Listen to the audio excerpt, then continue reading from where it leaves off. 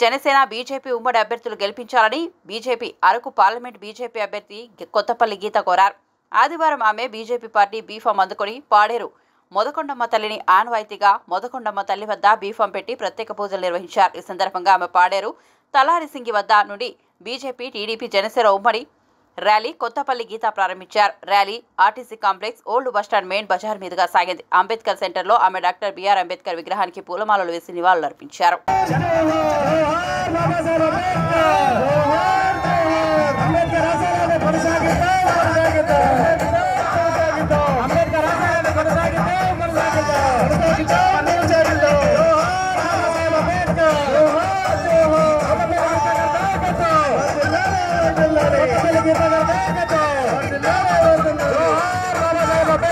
Johan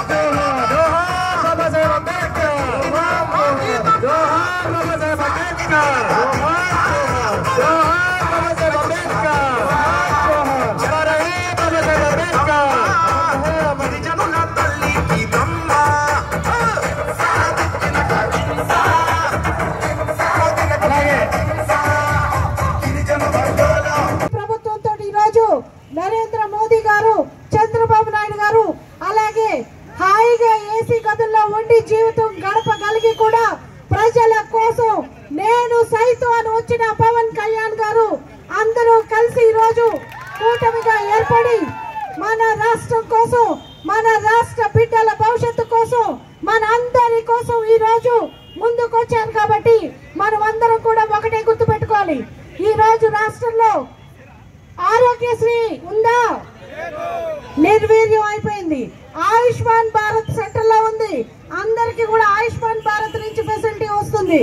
ఈ రోజు నరేంద్ర మోడీ గారు సంకల్పించింది ఎవరైతే డెబ్బై ఏళ్ళు పైబడిన వారు ఉన్నారో వారందరికీ కూడా సంవత్సరానికి ఐదు లక్షల చొప్పున ప్రీమియం ఇచ్చి మెడికల్గా వైద్య సదుపాయాలు అందించడానికి ముందుకు వచ్చారు కాబట్టి మనం అందరం కూడా గుర్తుపెట్టుకోవాలి. ఈ రోజు ప్రతి ఇంట్లో ఉన్న పెద్దవారు గురవుతున్నారు. ఆ బాధలు గురవకుండా ఆయుష్మాన్ భారత్ ద్వారా మళ్ళీ తోడ్పడతారు.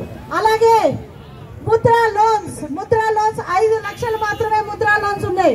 అట్లాంటిది ఈరోజు రోజు నరేంద్ర మోదీ గారు యువకులందరూ కూడా యువకులందరూ కూడా వారి కాళ్ళ మీద వాళ్ళు నిలబడాలని ఇరవై లక్షల ముద్రా లోన్ ఇవ్వడం జరిగింది.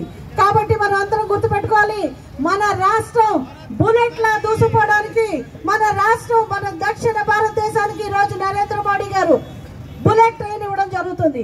అలాగే కాకుండా మన రాష్ట్రంలో ఎన్నో రకమైన ప్రాజెక్టులు ఉన్నాయి. పోలవరం ప్రాజెక్ట్ ఈ రోజు నిర్వీర్యమైన పరిస్థితి ఉంది. మన రాష్ట్రానికి రాజధాని ఉందా?